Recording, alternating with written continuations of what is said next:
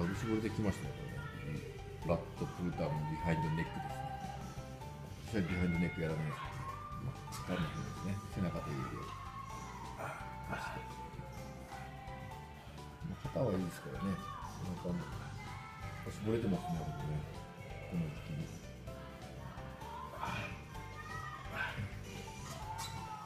まあこれ見たらいいと思うよ。上から煽ったらいいんですけどねこうしたらいい。最高じゃないですか。バックポーズいってみるあ肩肩ですね。いいじゃないですか。これいいと思うよ。部分的に取ったらよく見えるんですよね。何キロ落としたんですか？まあ、3ですね。前も言うてすごいね。昨日だいぶ絞れたね。アップにするといいからね。